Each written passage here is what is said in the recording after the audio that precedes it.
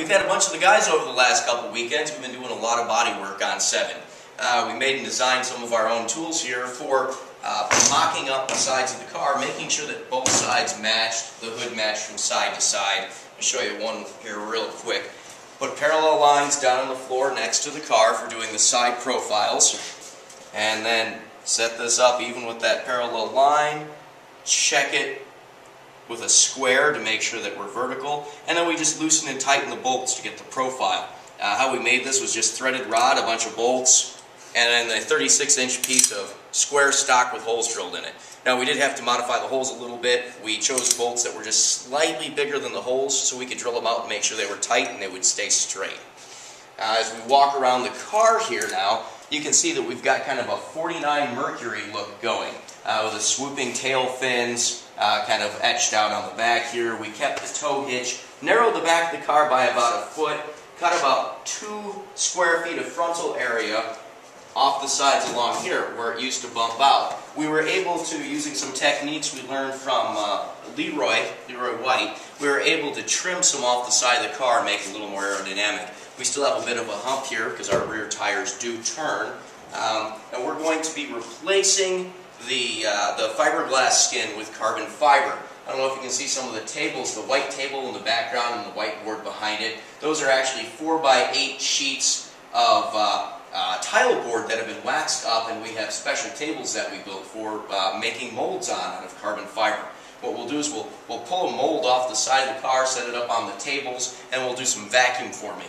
And we're going to use carbon fiber and honeycomb composite make some real strong, lightweight components. Uh, that's why we're able to shave some uh, of the width off the side here, make it a little more aerodynamic and a little more appealing.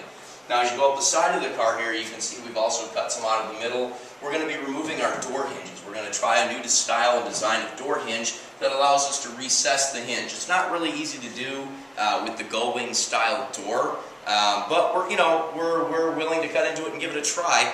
Um, then as you come up the side of the car, you can see we've also trimmed down a lot the uh, the side curve. What we've done is we've raised it up. Some of the mistakes we made along the way is we're in a small shop, we've never done this before. We got back from the car and we said, well that needs to be bigger. So what we did is we added to the side of the hump instead of adding height to it. So now we're getting it trimmed down and we're matching up both sides by using these tools. You go on the car every six inches, make a vertical line, adjust your tool, compare it to the other side, shave it and sand it down. Uh, we've also been able to clean up the front some. It still looks a little dirty here, but we've been grinding into the old material and reforming the hood and the front of the car. We've raised the back of the hood about two inches, making it a little more aerodynamic, and we've been able to trim a little bit off our front edge. Originally, we used a vacuum that came off the front underneath of the car, so we had lowered the front lip of the car by about an inch.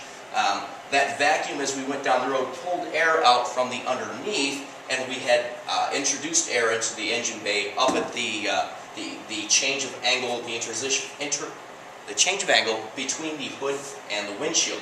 We're still going to get our air from there, but instead of creating a vacuum, we're just going to blow it out through the bottom of the car.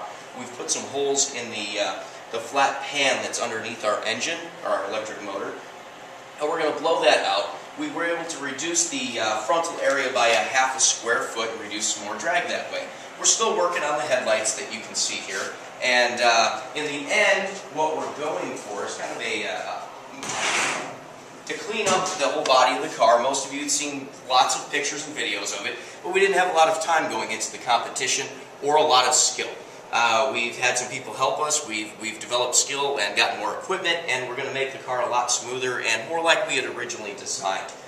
Uh, the, uh, the hood is, as of right now, going to open as a standard hood and just lean back. We'll have separate fenders. All of them will be made out of carbon fiber and Kevlar.